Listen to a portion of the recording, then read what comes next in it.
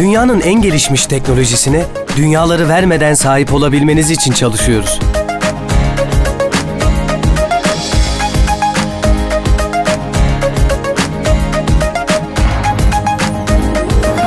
Türkiye bestenleniyor